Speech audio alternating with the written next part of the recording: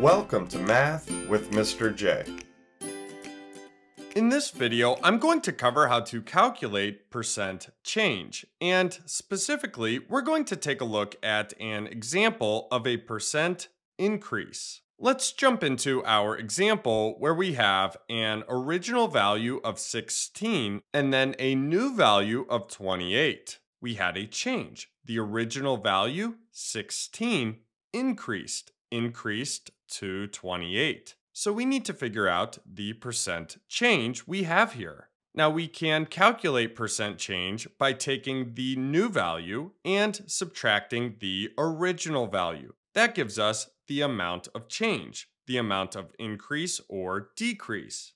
Then we divide that result by the original value. And keep in mind, always divide by the original value because we are finding the percent change from that original value.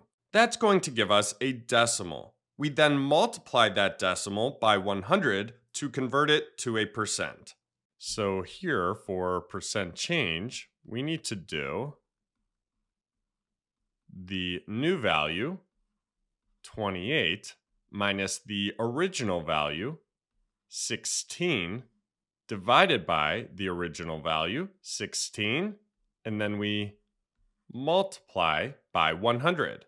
Let's start by subtracting here. 28 minus 16 gives us 12. And that's a positive 12. Having a positive there tells us we have an increase. If we end up with a negative, that tells us we have a decrease. So we have 12 over 16 times 100. Now let's divide. So we have 12 divided by 16.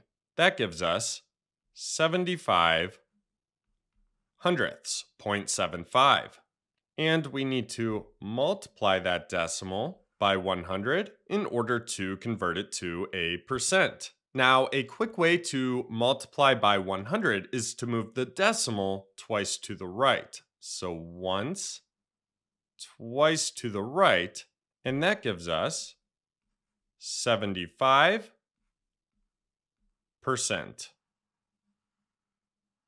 And since that's positive, that tells us we have an increase. We went up 75%. So this was a 75%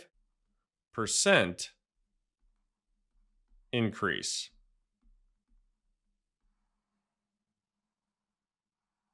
So there you have it. There's an example of calculating percent change. And specifically, we looked at a percent increase. Check the description for an example of a percent decrease. I hope that helped. Thanks so much for watching. Until next time, peace.